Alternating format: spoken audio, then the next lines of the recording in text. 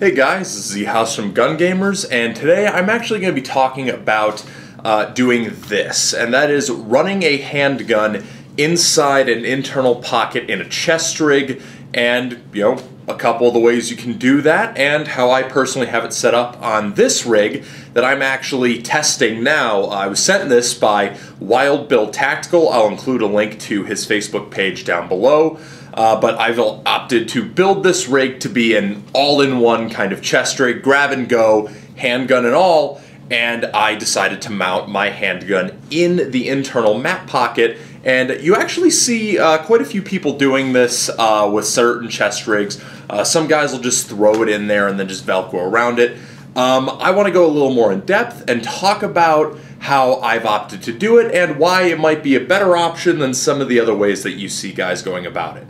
Uh, so as you can see here, I've got this handgun tucked in right behind these magazine pouches. And obviously when you have it chest mounted like this, you can just grab and go out like that. And you are able to run a handgun with absolutely nothing on your belt. Uh, I've got you know my magazine pouches my handgun on here. Uh, I don't have a dump pouch on right now. I just got home from dinner. Blame me. Uh, but I, uh, you could put a dump pouch on your belt and have that be it.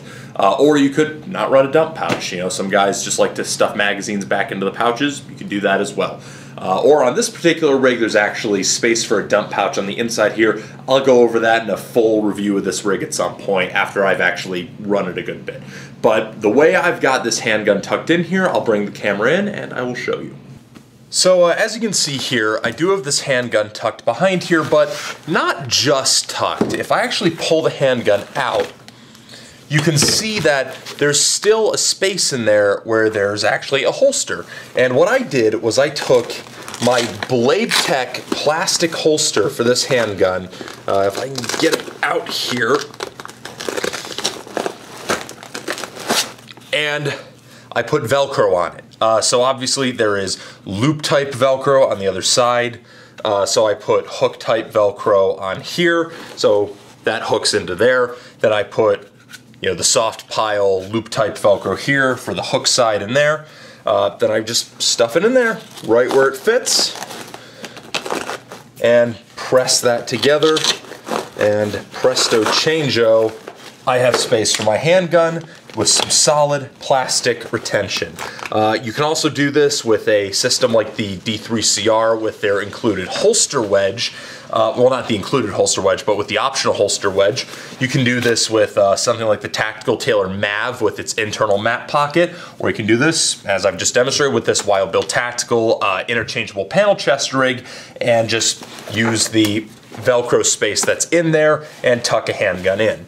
Uh, it's very simple to do, but I don't see a lot of guys, you know, going into depth about how to do it on, you know, a wide variety of chest rigs. So I figured I would, uh, you know, bring it up close here, show you a little bit how I did that, and you know, just make it a brief little thing. Honestly, this was kind of an emergency video because uh, Ian was busy, but I figured this uh, might be a helpful little thing for you and a preview of a rig that I will be running for the near future.